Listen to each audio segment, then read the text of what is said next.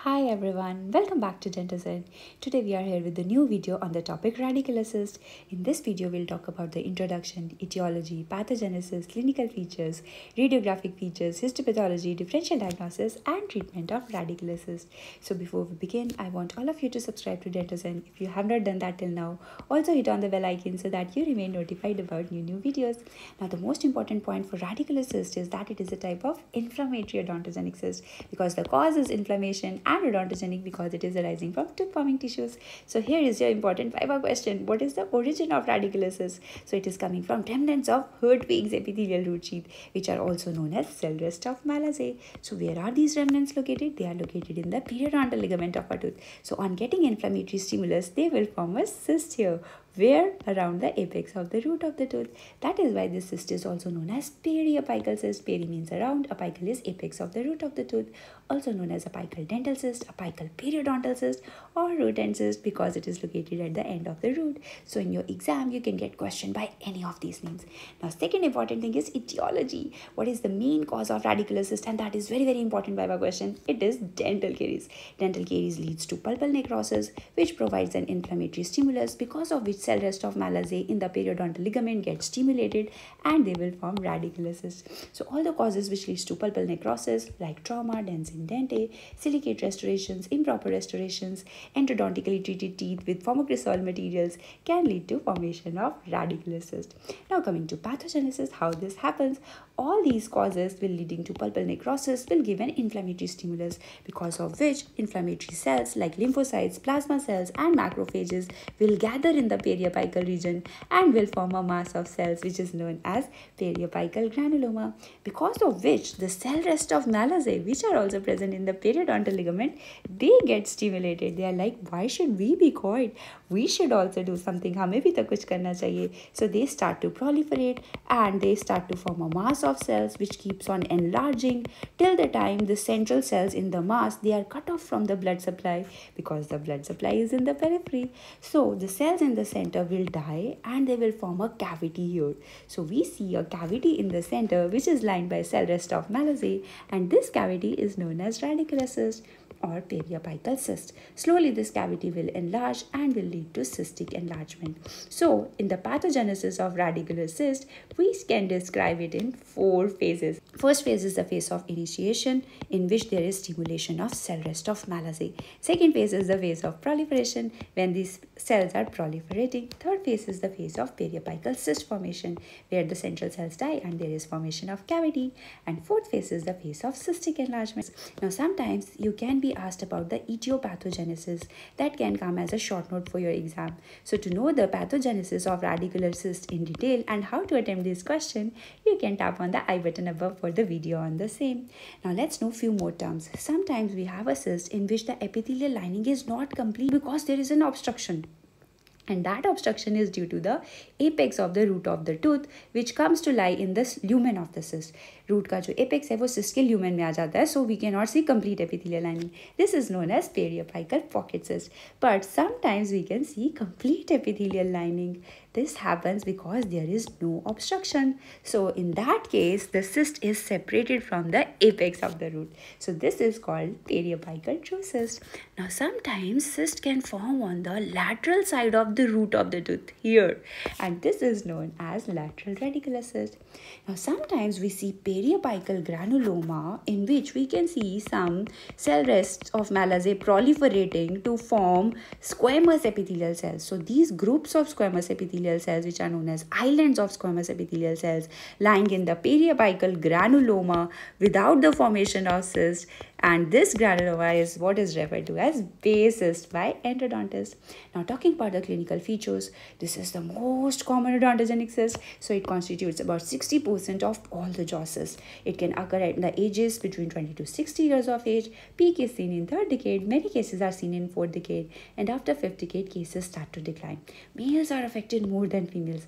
Now, if we talk about the site, maxilla is affected more than mandible. Now, this is in contrast to dentigerous and OKC where mandible is affected more than maxilla. But in radicular cyst, it is maxilla which is affected more than mandible. And that too anterior maxilla. Why, why, why?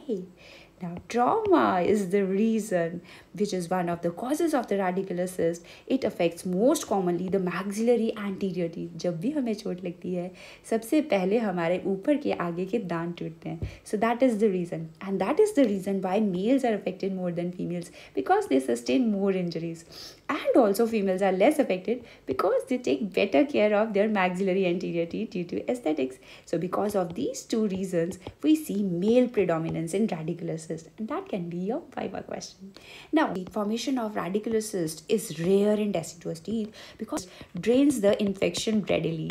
So there is the chances of cyst formation are very very less. Now talking about the clinical presentation pulp is dead.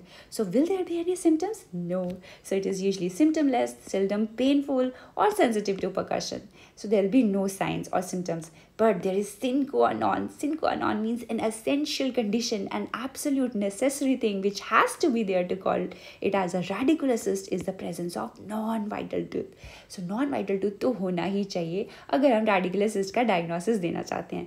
And that is one point which helps us to differentiate it from all other lesions which occur in the periapical location. So radicular cyst is most common cause of jaw swelling. It is a slowly enlarging swelling because of the chronic inflammatory process. It occurs over long duration Initially, it will be bony hard swelling covered by bone, but later on, as the bone resorption will take place, it the bone can thin out. Now, sometimes in long-standing cases, there can be sudden flare-up flare and will lead to formation of abscess. That is, there will be formation of pus, and this can spread to the adjacent areas. It can cause cellulitis.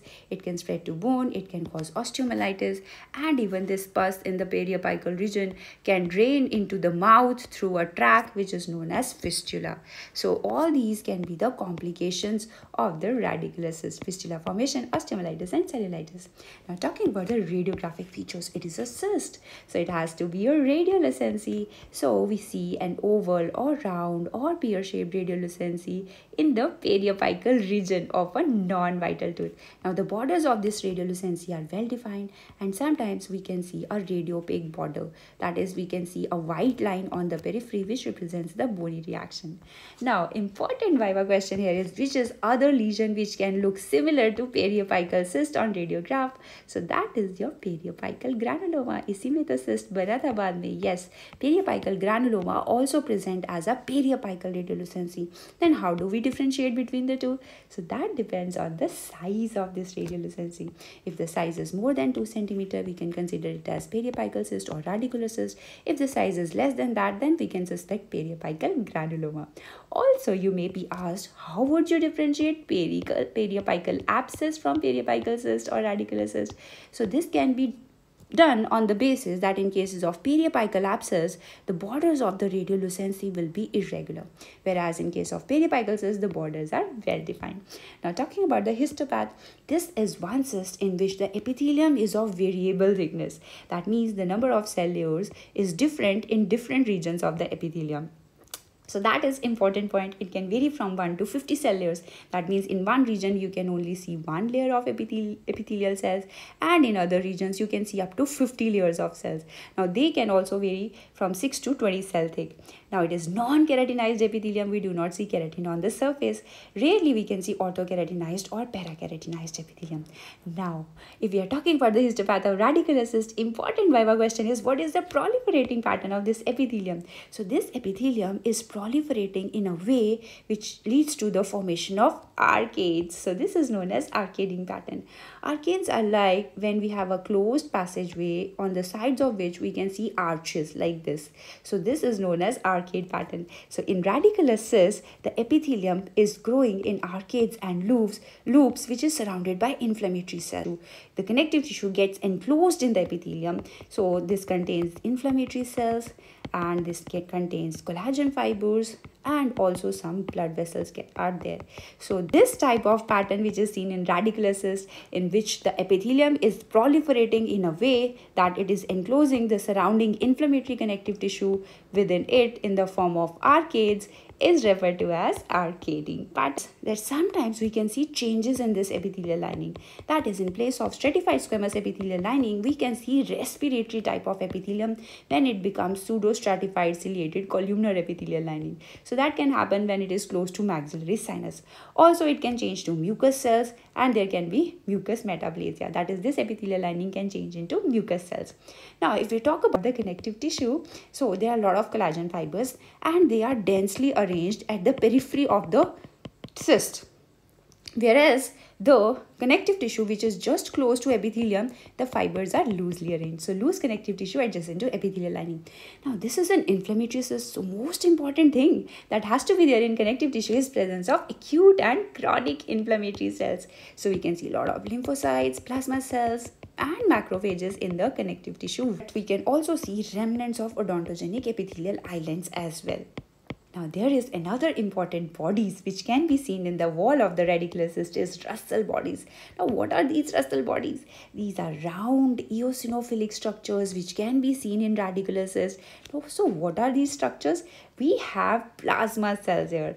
Plasma cells produce immunoglobulins. So these immunoglobulins get accumulated here. So these inclusions of immunoglobulins in the cells is referred to as Russell bodies. So the important thing that you have to remember is they are immunoglobulin inclusions.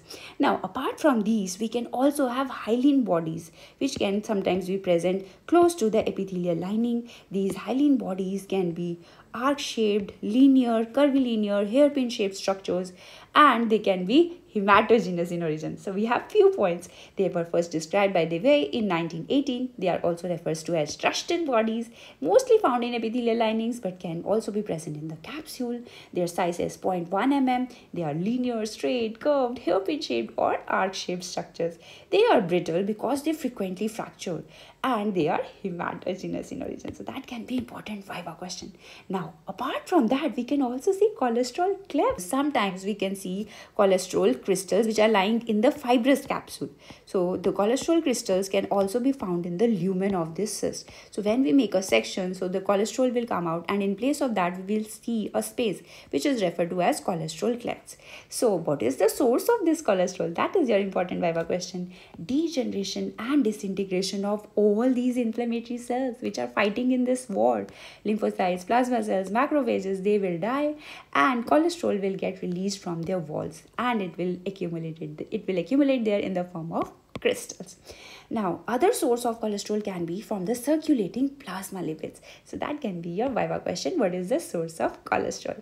Now, talking about the contents of the cystic lumen.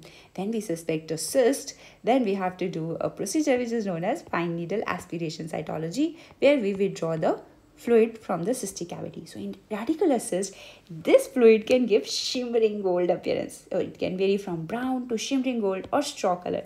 So that is important Viva question. Shimmering gold appearance is due to presence of cholesterol in the lumen. Now, low protein concentration is seen in this fluid. So when we try to stain it, it will palely eosinophilic in staining reaction. Now, the if we talk about the protein levels, we have already discussed in odontogenic keratocyst that if it is less than 3.5 gram per 100 ml or consider it as less than 5 gram per 100 ml, then we consider it as OKC. But if the protein levels are more than 5 gram per 100 ml, then we can consider it as dentigerous cyst or radicular cyst. And we can also see cholesterol crystals in this fluid. Now talking about the differential diagnosis. So all those things which can look similar to periapical cyst or radicular cyst are periapical granuloma, scar, periapical abscess, other odontogenic cysts arising in this location, surgical defects, osteomyelitis, all these can be the differential diagnosis. Now talking about the treatment, we can do root canal treatment of the tooth and later on we can do the apicectomy that is we can cut the apex of the root of the tooth and we can do filling or otherwise we can do extraction of the tooth in that case the tooth is completely removed along with the cyst. Now sometimes while removing the cyst the epithelium can get fragmented and the remnants can remain behind. And then a cyst can develop from this these remnants again. And that is known as residual cyst. That is cyst which is left after extract that is retained periapical cyst from teeth that have been removed. So tooth has been extracted. After days or months we can see still see a radiolucency there and that is residual cyst. So that is all for radicular cyst. So if we talk about the summary the most important points that it is inflammatory odontogenic cyst its origin is from cell rest of Malassez, which are the remnants of Hertwig's epithelial root sheath. Etiology, the most important cause is dental caries and then trauma. Then if we talk about pathogenesis, it has four phases, phase of initiation, phase of proliferation, phase of cyst formation and phase of cyst enlargement. Then if we talk about the clinical features, it peak is seen in third decade, then males are affected more than females and anterior maxilla is the most common site. Then if we talk about the radiographic features, it presents as a periapical radiolucency on a radiograph and it has to be differentiated from periapical granuloma which is its radiographic differential diagnosis and also we have to differentiate it from periapical abscess. Then if we talk about the histopathological features, it is non-keratinized stratified squamous epithelium but it is of variable thickness. That is number of cell layers vary in different regions of the cyst. And then the important pattern which is seen in this epithelium of radicular cyst is known as arcading pattern. Connective tissue is inflammatory fibrous type so we'll see a lot of inflammatory cells in the connective tissue which can be lymphocytes plasma cells and macrophages. Now talking about the treatment we can extraction of the tooth and we can do root canal treatment of the tooth. So that is all for radicular cyst i hope you enjoyed the video. If you really like the video do give a thumbs up. Keep following keep watching dentozen and good luck for your exams. See you in the next video. Till then take care. Bye bye